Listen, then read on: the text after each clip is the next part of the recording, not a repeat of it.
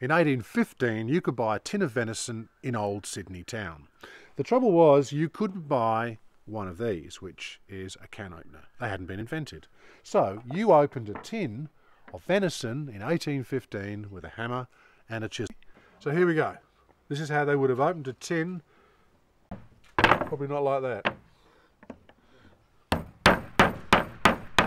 There's a bit of an art to this. Obviously, um, there was a bit of expertise opening it. Oh, jeez.